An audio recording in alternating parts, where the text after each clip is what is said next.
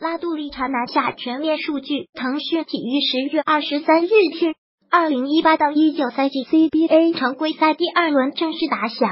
江苏肯蒂亚在最多落后十六分的情况下，凭借莫杰的出色发挥，主场以一百零三比一百零一险胜青岛队，取得赛季首胜。拉杜利查拿到二十五分、二十篮板、七助攻的全面数据。CBA 辽篮十七分大逆转，秦山西顾问艾伦神勇率队获两连胜。本场数据球队数据：篮板方面，江苏五十二比四十领先；助攻方面，江苏二十四比十四遥遥领先。失误，青岛十三次，江苏十一次。三分命中率方面，江苏百分之二十三点一，青岛百分之三十九点四。球员数据方面。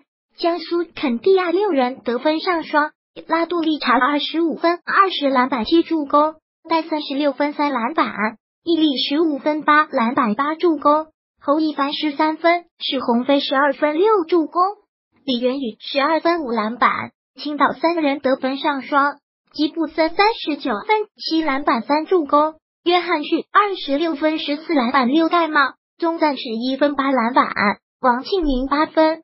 本场最佳拉杜利查双二十米补戴森不足。本场比赛，拉杜利查作为首发登场，二十二投十一中，得到江苏队最高的二十五分，并抢下了二十个篮板球，其中八个前场篮板。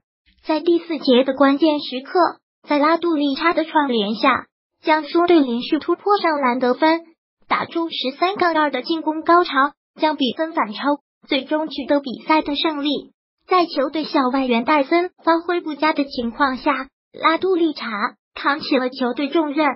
比赛焦点交战历时此役战罢，双方共交手二十一次，江苏肯蒂亚以十三胜八负占据优势。江苏队首节进攻端低迷，首节比赛中，江苏队两分球出手二十次，命中四球，三分球也无一命中，仅得到十二分。青岛得分过于依赖双外援，本场比赛，青岛队双外援和利凯下六十三分、二十一篮板，得分占到全队的百分之六十二点四。戴森首秀中规中矩，首轮缺席的江苏小外援戴森，本场比赛迎来首秀，替补登场，两分球八投二中，三分四投二中，得到十六分三篮板，没有助攻，并且还有三次失误，曾在第二节的一段时间将其换下。在第四节与吉布森的对位中，完全处于劣势。本场比赛表现可谓一般。比赛回顾首节开始，江苏队连续远投不中，反观青岛队一上来反客为主，连续得分，开局四杠零领先。之后的比赛，双方在长达两分多钟时间内一分未得，拉杜利查抛投得手，打破得分荒。随后，王庆明和张成宇连得五分。此后。江苏队的命中率仍未有所好转，吉布森和邵英伦连得六分，将领先优势扩大到九分。首节战罢，青岛二十一比十二领先。次节比赛，拉杜利查篮下勾手命中，率先得到两分。此后，吉布森连得四分，将领先优势扩大到两位数。随后，青岛队利用约翰逊的内线优势连续得分，随着吉布森三分再次命中。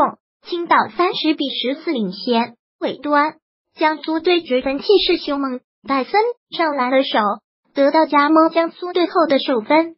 不过青岛在双外援分差始终未被缩小，半场战罢，青岛队四十八比三十九领先。一边再战，戴森和拉杜利查连得五分，将分差追至四分。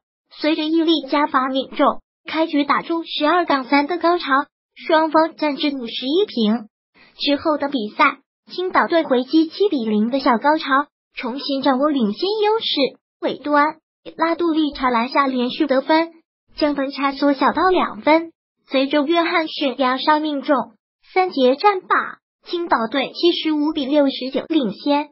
末节，拉杜利查状态火热，在他的带领下，江苏队打出六杠零的高潮。最后时刻。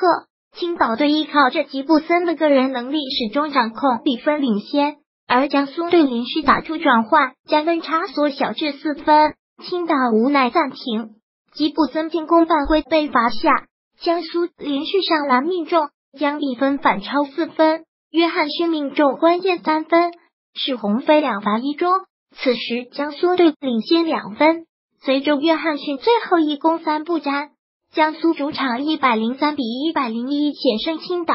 双方首发江苏刘维、拉杜利查、伊利、侯玉凡是红飞青岛。约翰逊、许家涵、迪毅、王庆明、张成宇下轮对阵。常规赛第三轮十月二十五日，青岛回到主场迎战广州。十月二十六日，江苏继续坐镇主场迎战福建日立玉。